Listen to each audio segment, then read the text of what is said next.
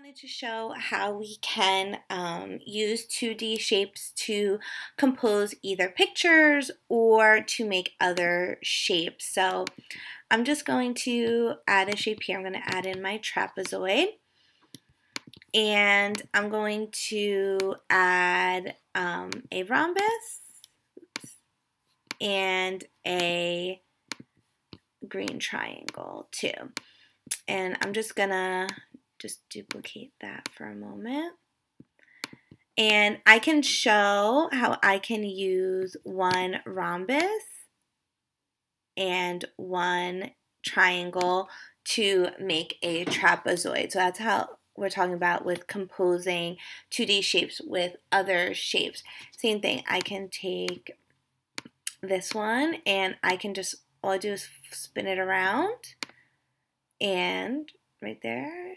Put them together, and I made myself a trapezoid, right? So we put a trapezoid in there, right? They look just alike. Same thing, I can take my blue rhombus, and I'm just gonna duplicate it a few times. And again, remember, the defining and non-defining attributes of a shape don't determine the position that it's in. As long as it has you know the same sides and vertices then it'll still be a shape so even though I'm spinning it it's still a rhombus. And right when I move them together right there you go. I made myself another trapezoid.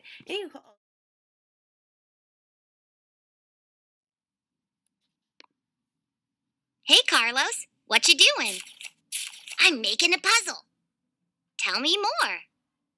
I want you to use the two square shapes to make this shape. That's an easy puzzle. Okay, try this one. What shapes can I use? Three triangles. Hmm, does it fit here? So another triangle would fit on this side. Ah, I see where the last triangle fits. I can spin it and put it here. Ugh. All right, try this one. It's a hexagon. You can use three rhombuses. Okay, three rhombuses. Well, it's hard, huh? Yes, it's hard. I'm trying to find a corner of the hexagon that matches a corner of the rhombus. Hmm, I think this can fit here or here. Okay, now I have to spin one around to fit it under the first one. Yeah, now I can see how the last rhombus fits. You did it! Hooray for you! Hooray for me! Your puzzles were a challenge, but they were fun. Thank you, Carlos. You're welcome. How you can use the pattern blocks in Seesaw to help you complete your math work. So over here you have the three dots. So you're going to click on it and you'll see it gives you the option for shapes or background. We're going to click on shapes.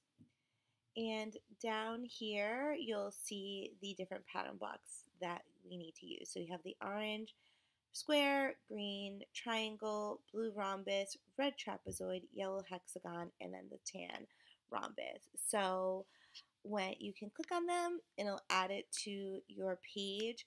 I wouldn't worry so much about making it bigger or smaller because when you're adding the different shapes onto it and you need to compose new shapes, you kind of want them to be the same size. You don't want anything to be bigger or larger. So um, I'm just going to show you with the trapezoid how I can use other shapes to make a trapezoid as well. So I'm just going to add an extra trapezoid in there so that you can see.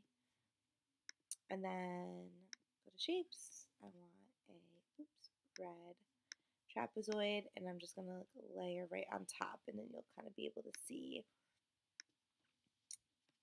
and you'll see why I say it's don't change the size of the shapes because you can see how perfectly the trapezoid fits on top of the hexagon and the blue rhombus